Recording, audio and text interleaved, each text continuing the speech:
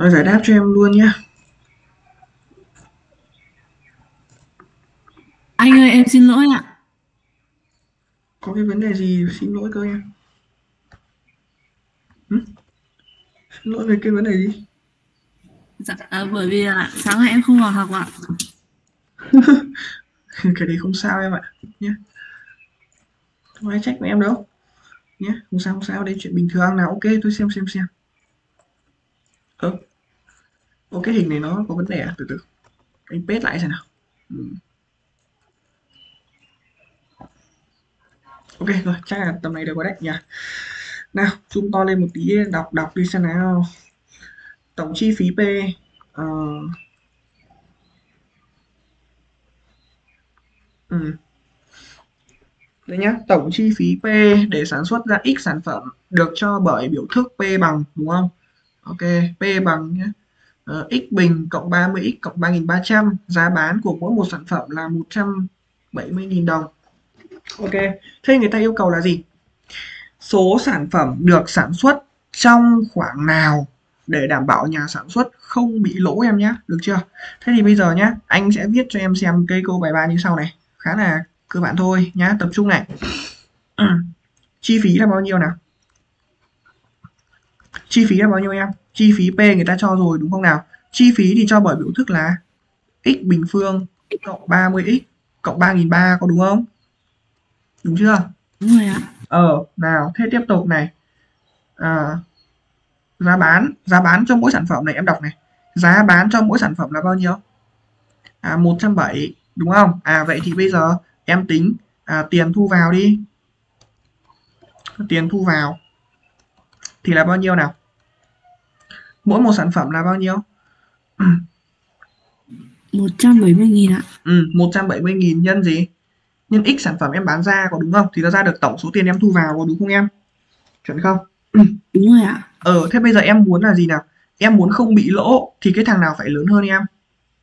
Nào em muốn không lỗ. Thu vào. Ờ thì phải thắng chi phí đúng không?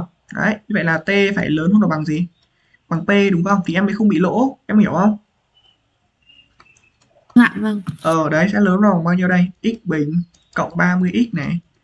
Cộng 3300 đúng không? Nào thì mình chuyển về qua mình thu gọn đi nhá. Thì mình được như sau này. Anh sẽ chuyển cái con 170 sang bên phải để cho biểu thức nó đẹp hơn. Thì mình sẽ có là x bình này. Uh, trừ cho 140x này. Cộng 3300 này. Bên phải là bên nhỏ hơn nha em. Nhỏ hơn hoặc bằng không được chưa? Nào Casio đi em. Lấy máy tính ra bấm menu A để chạy cho anh cái con này nào bấm menu bấm vào chữ A chọn cho anh bậc 2 nhón bằng không là dòng số 4 nhá. Nhập hệ số nào? 1 âm 140 3300 bấm bằng. Rồi kết quả đây nhá em nhá. Kịp không em? Kịp ạ. Ok xong rồi đấy. Như vậy em chỉ cần kinh doanh hoặc là em sản xuất cái số lượng sản phẩm trong cái miền này là ok em nhé được chưa em ơi? Được chưa? Đó, em sản xuất trong cái miền này thì chắc chắn là em sẽ không bị lỗ. Ok không? Còn ao ra khỏi vùng này là em lỗ luôn xong chưa? Vâng ạ vâng. ok hiểu hiểu rồi gì rồi ạ. Ok nào sang câu 4 nào. Viết phương trình đường thẳng uh, đường thẳng delta vuông góc với d ok nào từ từ. Đọc đọc đọc luôn này. Chi tiết số 1 em nhìn này. Delta có phải vuông góc với d không? Phải ok vậy chắc chắn delta có dạng gì luôn nào? Hãy tập trung vào d nha thằng d em nhìn phần hệ số cho anh nào. Thằng d hệ số là bao nhiêu nào hai âm một đúng không? Đổi chỗ đổi dấu luôn cho anh thì được là bao nhiêu? Một. Hai ạ. Ok viết luôn. X cộng với 2 y nha. Cộng với m bằng không. Sau đó này nào. À, vuông góc à? Rồi lại còn cách a một khoảng bằng bao nhiêu nào? Delta còn cách a một khoảng bằng mấy? Bằng 5 đúng không? Chuẩn chưa? Vâng căn năm ạ. A. Ở ờ, căn 5 đúng không? Ok khoảng cách giữa a này và à, và cái đường thẳng d à và đường thẳng delta đúng không nó bằng căn 5 nhá em thay vào đây cho anh thôi nào mô hình khoảng cách có phải là trị tuyệt đối trên căn không đúng chưa mô hình khoảng cách là trị đối trên căn ừ thay vào nào nào thay nha điểm a tọa độ bao nhiêu nhỉ âm 1 2 nhá thay vào nào âm 1 cộng 2 nhân 2 cộng m đúng không? Trên cho căn bậc 2 của gì nào? Tổng bình phương hai hệ số xy nhá. Như vậy là nó được là bao nhiêu nào? một bình cộng hai bình đúng không? Thì cái này có phải bằng căn 5 không em? Vâng ạ. Ừ anh tính này có bị tắt quá không? Em có hiểu kịp không? hiểu kịp ạ. Ừ, em hiểu kịp gì ok nào. Như vậy nào em thu gọn tử số cho anh nào. Nó là m cộng mấy? M cộng 3 đúng không? Đúng chưa? M cộng 3 nhá trên cho căn 5 này thì nó bằng căn 5 này. Em nhân chéo lên thì có phải là em có m cộng 3 trong trị đối này? Cái này bằng 5 không? Có đúng không nghe có ạ. Ok đưa về hai trường hợp thôi. Nào một là m cộng 3 bằng 5 này hai là m cộng 3 bằng bao nhiêu? Âm 5 đúng không? Như vậy là bên trên m bằng mấy? M bằng 2 đúng không? Còn bên dưới là m bằng âm. Âm 8 thông chưa? Như vậy là lúc này em sẽ thu được tổng cộng là hai phương trình delta nhé. Delta 1 có phương trình là x cộng với 2y cộng 2 bằng 0 còn delta 2 của em sẽ có phương trình là x cộng với 2y trừ 8 bằng 0 em ơi. Thông chưa nào? Thông chưa? Vâng ạ. Ok xong nhá. Đấy mô hình của khoảng cách rồi nhớ ở đây uh, muốn làm tốt được cái bài này ấy, thì em khống chế yếu tố thứ nhất là yếu tố vuông góc đúng không? Mà muốn khống chế vuông góc thì đổi chỗ đổi dấu quen không? Quá quen đúng nào? Đổi chỗ đổi dấu phát ra vuông góc luôn. Và cái thằng thứ hai là em khống chế khoảng cách nhá em khống chế khoảng cách. Đấy thì chỉ cần nhớ mô hình khoảng cách thôi. Mô hình khoảng cách chính là trị đối trên căn. Xong. Đó ok chưa em rồi nốt nốt câu 5 nhá. Ok nốt câu 5 này. nào câu số 5 cho hai điểm A và điểm B đúng không ạ? À, check nhanh cho anh xem nào. Điểm A và điểm B thì có thuộc vào D hay không? Nào check nhanh cho anh nào. À thôi không cần đâu không cần check đâu không cần check đâu. Em nhìn này. Em đọc cho anh chi tiết này. C có nằm trên D không em? C có nằm trên D không? Có ạ. Ừ C mà thuộc vào D em tiến hành tọa độ hóa tọa độ hóa hoặc là tham số hóa cho C luôn được chưa nào à, viết lại cho anh con D về dạng tham số nào. Cái dạng này người ta gọi là dạng tổng quát này. Viết lại cho anh về dạng tham số nhá. Nào x bằng y bằng này. Biết cách tham số nhanh không? Không ạ. Nhá nhìn vào đây. Cho x bằng t được chưa? Cho x bằng t nhá được chưa? Cho x bằng t ấy, thì từ cái con này này thực chất nó sẽ sinh ra như sau. T trừ y cộng 1 bằng 0 chuyển vế sang thì mình có ngay. T cộng 1 có phải bằng y không à đúng chưa? Vâng. Vậy xong rồi đấy phương trình của con y ở chỗ này nó chính là t cộng 1 xong rồi đấy đã tham số xong nha. Rồi như vậy là điểm c của em tọa độ x trước y sau đúng không? Như vậy nó là t. Và gì nào? T cộng 1 kịp không nga ờ đúng đấy. sao mà cái kia lại là t trừ y cộng một thế anh à thì x bằng t rồi mà nga đây này mình chọn x bằng t ấy nga chọn x à dạ vâng ạ. Ừ thì mình thay đúng vào đúng không? Hiểu chưa? Kịp không? Thay đúng Vâng vào ạ. con x ổn rồi gì kịp rồi gì vâng vâng. Ừ đấy là đấy là cách tham số hóa nhanh được chưa? Rồi hiểu không đây? Hả? Hiểu hiểu rồi. Ok nào bây giờ tam giác abc cân tại c đúng không? Tam giác a bờ cờ cân tại đâu nào? Cân tại c từ đó suy ra ca có bằng cb không? Có ạ. Ừ nào lấy căn nào? Nào ca thì lấy cho anh là căn bậc 2 của a trừ c tổng bình phương cộng lại nhá. Hoặc là c trừ a cũng được. Muốn nó đẹp ấy nga này muốn nó đẹp thì phải lấy c trừ a cho anh nha thì nó mới đẹp được. Nhớ chưa? Nào trừ nào? T cộng 1 kịp không? Anh tính hơi nhanh nhá. T cộng 1 bình này cộng với ờ, t trừ 1 bình này. Anh tính lên này có bị nhanh quá không? Không ạ. Ừ, anh đang lấy c trừ a nhá. Có hiểu không đây? C trừ a này. Kịp chưa? Dạ. Ok, tiếp tục. Nào bên kia nào. Lại tiếp tục lấy à C trừ B đúng không? C trừ B. Vậy ta có là T trừ 3 đúng không? Bình nhá. Đúng chưa? Kịp không Nga ơi? kịp ạ Ừ nào và cộng với T bình. Ok chưa em? vâng ạ Bình phương hai vế này và khai triển hàng đẳng thức nha. Bình phương thì có phải nó sẽ khử căn đâu Nga? Bình phương thì nó khử căn, đúng chưa? Khai triển hàng đẳng thức nào? Ừ, bao nhiêu nào? T bình cộng 2T cộng 1 cộng T bình trừ 2T cộng 1 bằng T bình trừ 6T cộng 9 cộng T bình kịp không em? kịp ạ Ừ, toàn bộ con T bình có mất không nào? Mất không? ờ, mất ạ mất Mất đúng không? Ok, vậy được bao nhiêu lần T nào? Tính nhanh nào. Vế phải. ờ, em Ừ, còn từ sáu ạ ừ còn trừ 6T ở vế phải đúng không? Ok, như vậy cái này tương đương chuyển vế đi nha. 6T này. Chuyển sang vế trái đi, chuyển sang vế trái cho đẹp. 6T nhá. Số má được bao nhiêu nào? bảy ạ Đúng rồi, 6T thì bằng 7, hợp lý. Xong rồi, vậy T bằng bao nhiêu? ờ, bảy phần sáu ạ Đúng rồi, có T bằng 7 phần 6 nào, thay vào tọa độ hóa đi nha. Vậy C tọa độ bao nhiêu? 7 phần 6 và 7 phần 6 cộng 1 bằng bao nhiêu? 7 với 6 là 10. 3 đúng không? Xong chưa? vâng ạ Ổn, ổn, ổn chưa cô? ổn ạ anh anh giải hộ em một câu trắc nghiệm nhỏ nhỏ xíu thôi ạ Ừ em rồi em hỏi đi. Dạ vâng em em gửi lại cho anh nhé Ừ cứ gửi đi, cứ gửi thoải mái mà. Trước anh coi gì đâu mà, thoải mái đi. Trừ cái ngà ra là anh phải cắt với cái con bé đấy. Lười học. phải xử lý ngay. nó cứ than với em là bảo là sao anh cắt với nó thế Sao anh lại cắt vì nó thế á? Anh mà không cắt thì nó không thể giỏi lên được em ạ. Đó. Muốn muốn ra được một cái thành quả nào đấy ấy, thì ừ, cả anh rồi các em đúng không? Đều phải là nghiêm túc. Đấy. Anh mà bây giờ mà anh nhờn với nó ừ, sau nó nó lười đi em, em hiểu không? Thi được vào chuyên nó là cái gốc rễ của nó rất là tốt rồi. Nhưng mà à, lười là hỏng em ạ. Với cả anh không phải lúc nào anh support hết đâu, anh phải làm thế. Anh bây giờ cái gì anh chữa hết cho bọn em, con mà bọn em không chịu suy nghĩ mất, hiểu không? Thì À, ok, câu này hả? Đây. Đường thẳng D nhỏ đi qua điểm nào đúng không em? Ok, rồi. À, em muốn biết nó đi qua điểm nào thì cũng dễ thôi. Đấy nhá. Ừ, rồi ok em à, ờ, cái này em em tìm trả lại T thôi mà. Đây em tìm được điểm Q cái gì? Ừ, điểm Q là ứng với T bằng 1 nhá. Đó, ok em em làm cho anh quy trình như sau. À, ví dụ bây giờ anh check IB cho em xem. Nào em nhìn vào điểm Q nhá. Nào x của nó bằng mấy nào?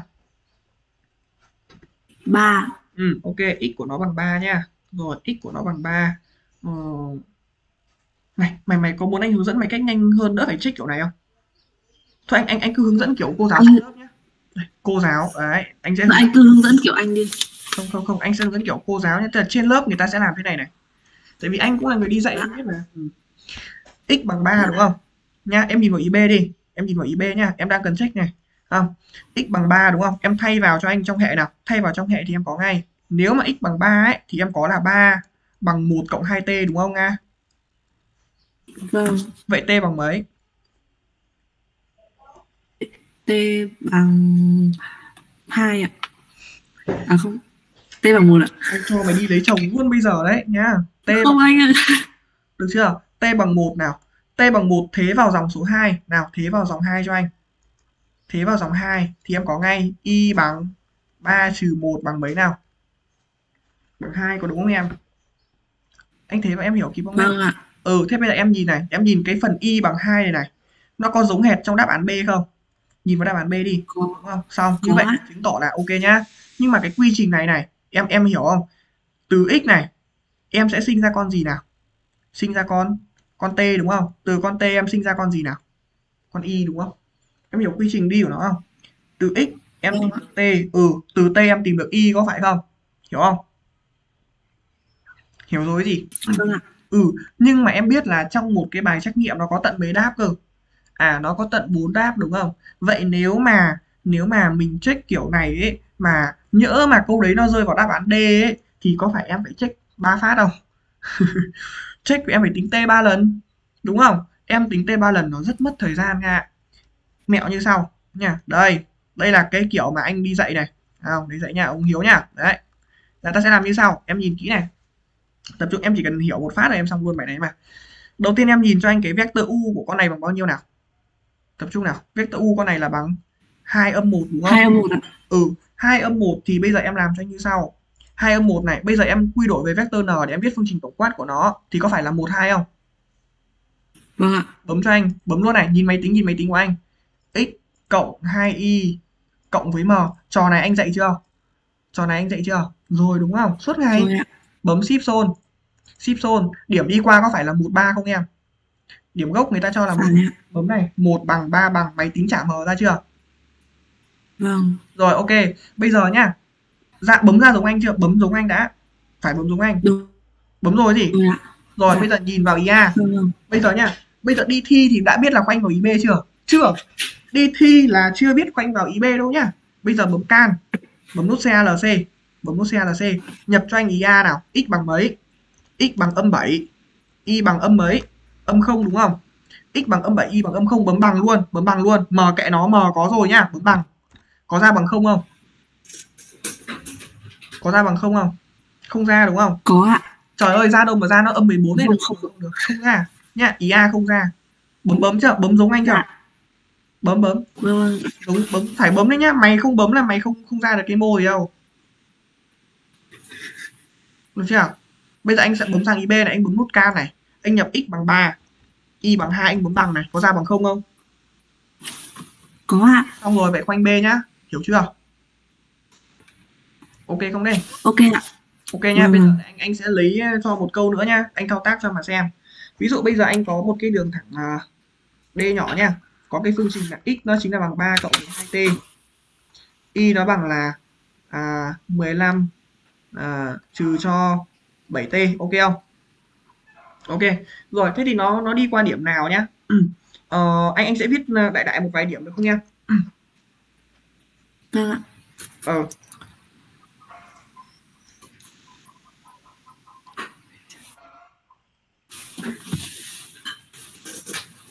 Rồi, ok điểm A nhá. Điểm A này. Điểm B này điểm C này. Điểm D nhá. Ok. Được không? Nó sẽ đi qua điểm nào trong những cái điểm này đúng không? Thì ờ, lấy máy tính ra. Lấy máy tính ra nhìn này. Bấm bấm cùng anh nhá bấm cùng anh này. Nào vector u có phải là hai âm 7 không? Phải ạ. Đổi về vector n thì được bao nhiêu? Là 72 ạ. Bấm luôn 7x cộng 2y cộng với m. Được chưa? 7x cộng 2y cộng m kịp không? Kịp ạ. Ship zone ép điểm đi qua. 3 bằng và 15 bằng cho anh nhá 3 bằng này 15 bằng nhá. bấm bằng máy tính chạm vào chưa?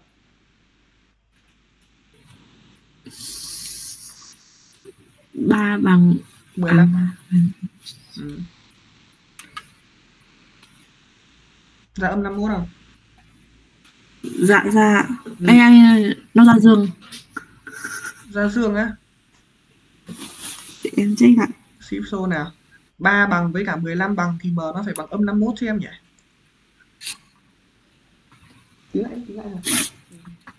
bấm đi 7x cộng 2y cộng m ship zone 3 bằng Dạ. 15 bằng được vâng được ông muốn ạ Ừ. Bây giờ bấm can, bấm nút CALC. Nhập điểm A vào nào. 3 bằng 13 bằng nào. 3 bằng 13 bằng. Nó ra bằng bao nhiêu?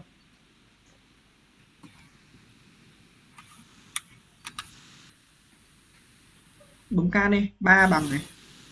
13 bằng này. M kẽ nó bấm bằng luôn. Ra bao nhiêu? ông bốn ạ Âm 4 xịt nhá. Âm 4 là xịt rồi? Nó không ra bằng không là xịt. Nào, can ý B nào. 2 bằng âm 7 bằng nào. 2 bằng âm 7 bằng. Bao nhiêu? 2 bằng ông âm, năm mốt ạ âm 51 vậy con này xịt nhá. Ý C nào.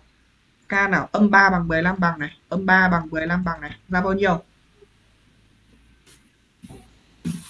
Âm 42 ông bốn hai ạ thịt nhá, can ý cuối đi em.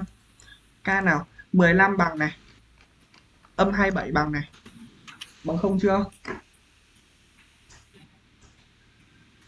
ờ rồi ạ Ok, xong ý này nhá.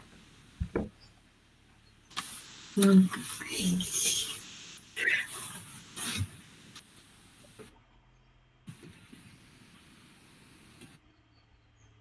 Hiểu không? Có hiểu không đấy? hiểu rồi ạ Ừ đấy, Dạ. rồi cái cách này nó mới bá đạo chứ mày ngồi mày tính tê đến bao giờ hả mày? Hả? Mày ngồi mày tính tê đến bao giờ đấy? Tao tao ví- tao ví dụ như trong cái tình huống riêng cái đáp án C này mày ngồi mày tính tê là mày chết luôn. Bởi vì là cái con này nó lẻ loi mắt ra. Mày thay vào xem phải không? Mày cho x bằng 2 vào đây. Đúng chưa? Úi trời ơi, x bằng 2 thì t chắc bằng âm 1 phần 2 đúng không? Mày thay vào có hết hơi không mày? thì Thấy chưa? vâng Nên là ờ phải Ừ. có những cái thủ thuật nó mới nhanh được. Đấy. Thế nhá. ok dạ cảm ơn ạ Dạ, cảm ơn anh ạ dạ